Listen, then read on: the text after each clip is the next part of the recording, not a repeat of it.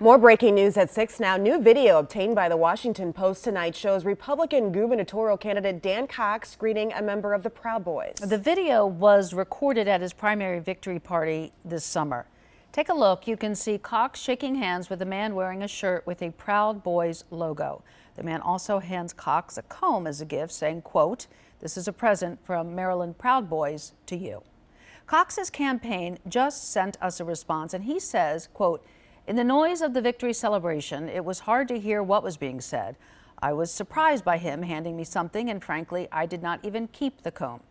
I had never seen him before, and I have not seen him since. I have no affiliation with anyone involved in violence on January 6, period, he said.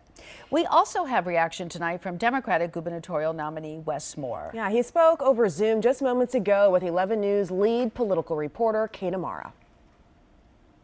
What's your reaction to this report that just came out in the Washington Post?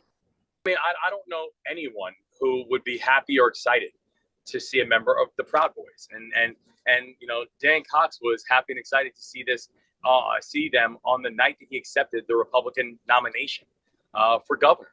Uh, the Proud Boys is a white supremacist domestic terrorist group, and and Dan Cox eagerly embraced them and and accepted their gifts. And so I think once again, this is Dan Cox showing us his values. Uh, and once again, the people of Maryland should pay attention. Well, stay with 11 News for continuing coverage of this developing story. We'll have more on 11 News at 10 and 11.